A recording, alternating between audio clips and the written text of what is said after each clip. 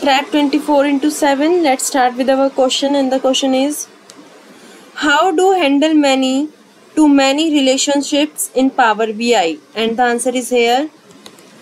You can use cross filtering option in Power BI to address the many to many relationships. Thanks.